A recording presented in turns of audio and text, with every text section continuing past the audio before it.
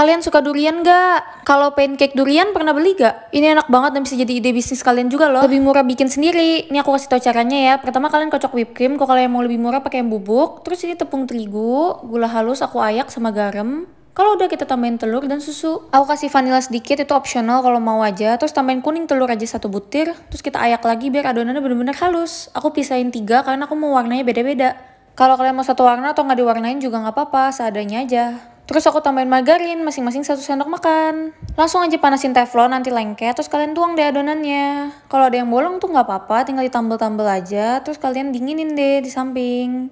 Tenang aja, adonannya tuh elastis dan gak lengket, pokoknya bagus banget. Terus whipped creamnya aku tambahin susu kental manis, kita taruh duren. Oh iya, untuk kulitnya jangan kebalik ya, aku pakai yang bagian halus itu buat bagian luar. Kalau yang bagian bawah ada bolong-bolong dikit tuh buat yang di dalam, jadi bagus deh dari luar. Tuh, tinggal kita bekuin deh.